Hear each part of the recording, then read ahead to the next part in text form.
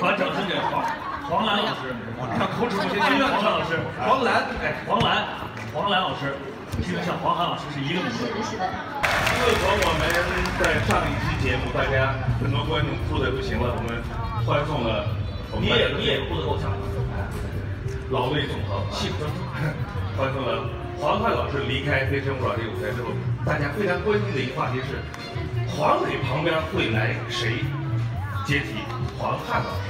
那么今天我们隆重介绍，欢迎黄澜。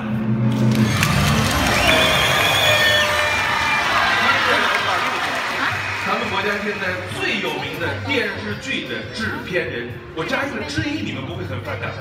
不可以接受。哎，最有名的电视剧制片人，对。女性制片人来讲，那就是独一无二。那个黄澜自己跟大家打个招呼吧。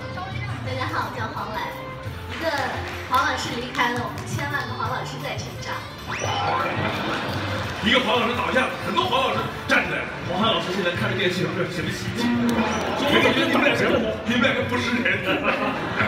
刚才我说制片人，黄澜做过哪些电视剧？大家就是我来介绍，我特别了解。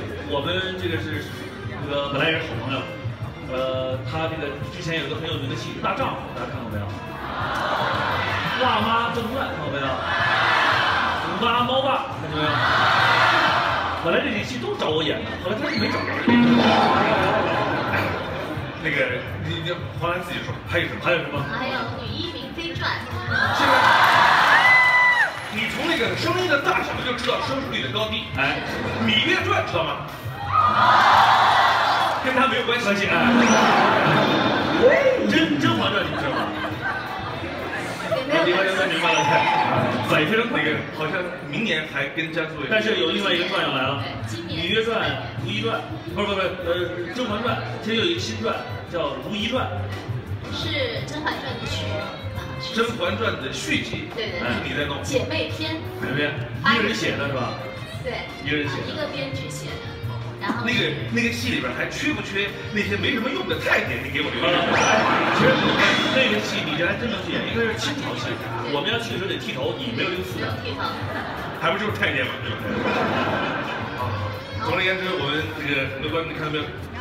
呃，也姓黄，我们的组合这个名称都没变，黄老师俩字儿一样的很漂亮，对不对？而且他们两个名字念起来很像，黄盘、黄兰，是吧？第一个字一样，第二个字一。模一样，哎，呀，这能找到就不容易啊，还都这么漂亮，对吧？就是那个是，那个大家对黄汉老师评价是邻家阿姨，像慈母一样，这个是邻家姐姐。来，我们再一次掌声欢迎黄兰。有请今晚二十四位美丽的单身女生。